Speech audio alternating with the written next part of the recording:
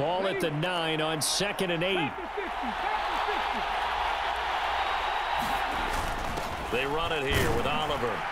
And he'll be stopped just outside the five at the six.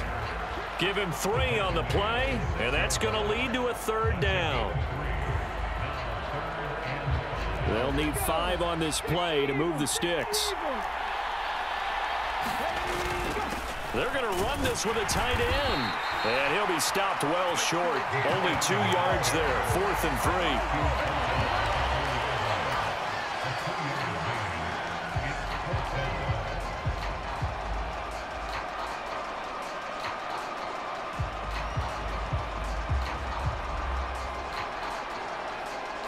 The offense is not leaving the field. They're going to stay out and go for it on fourth and three.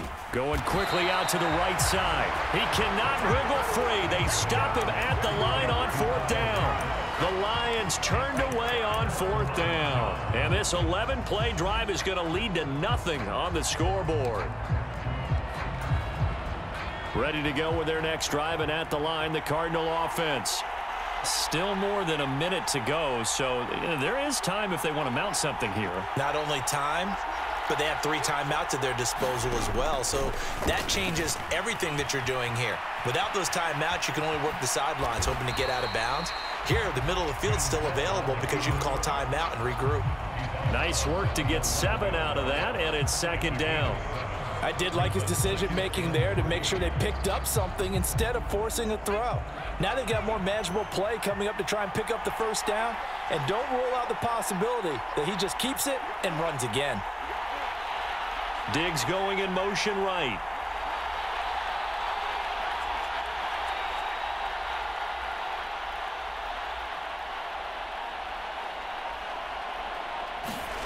Second and three. And he will find Ridley on the left side. And out of bounds across the 15-yard line.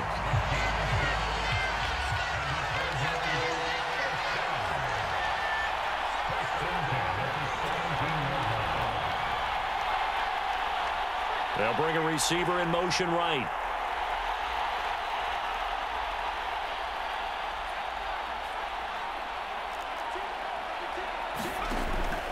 First down. He'll drop to throw. Forced out to his left. Now he'll let it go on the run. Deep left side. And that will be incomplete. Would have been a big hitter if they had connected. Instead, it's second down.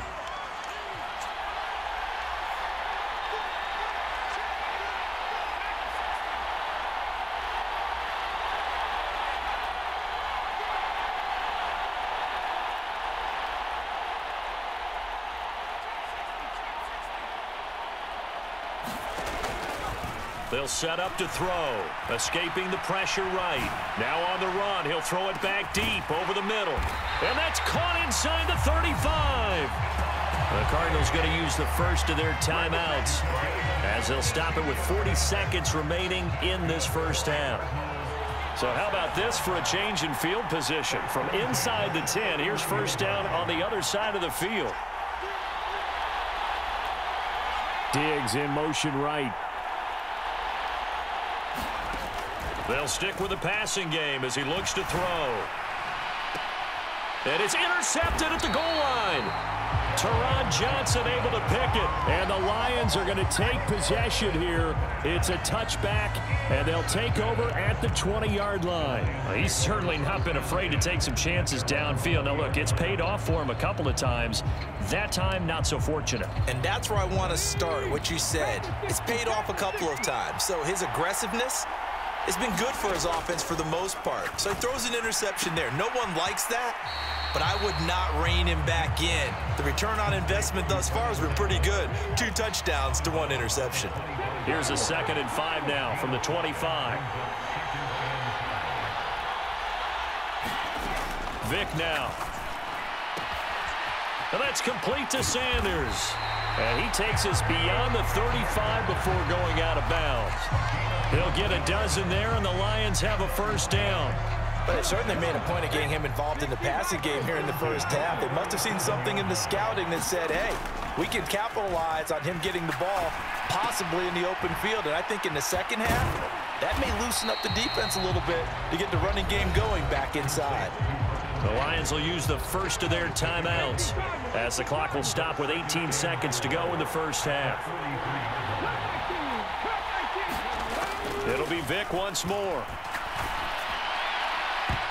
And That went a little too high as it's knocked away and incomplete. That's not the first time they've gone his way on this drive, and they were obviously keyed into him because they were there to help break that pass up. Now here's Vick. Pass to the sideline and pulled in.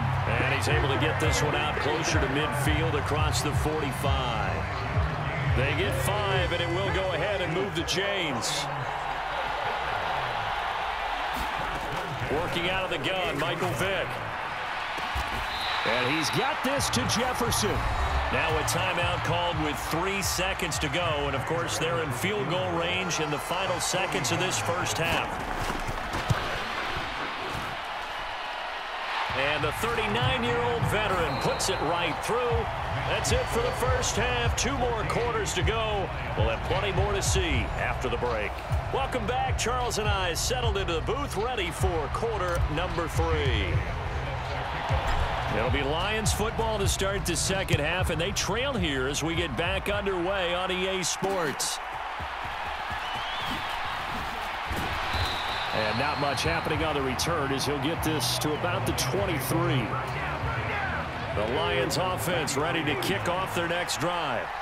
Charles, some things to like about that first half. Ultimately trailing here, but certainly this deficit is manageable. So curious to see what adjustments they may have made at intermission. As am I, because I think things bode well for possible comeback because I thought a lot of their best reps in the first half came through the passing game. They were hitting the open receivers, taking whatever the coverage gave them and making it work well for themselves. Now, they just want to pick up the pace of scoring a little bit. So I expect them to come out and continue to throw the ball effectively. Vick to the right side and complete to Thomas. That his first catch so far. They've held him under wraps, but he's got a first down there.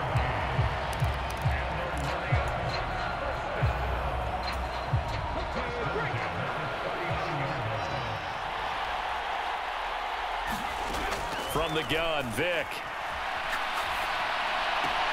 Short throw that's caught by Davis. And he'll be out of bounds after getting this one across the 40.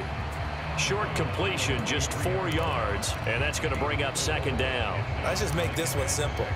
Could he be any more open than he was on that play? And they lost him going to the outside. Hard to believe because you go through your accounting on each and every defensive snap. Who's got who, what, what defense you're in.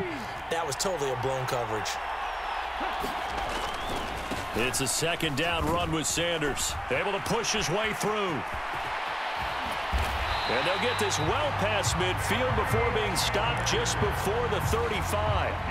So into Cardinal territory now. It's first and 10 at the 36. It's a play fake. Now Vick. Trying to get it to Thomas, and it's intercepted. Picked off by Dominique Rodgers-Cromartie. There he goes right side.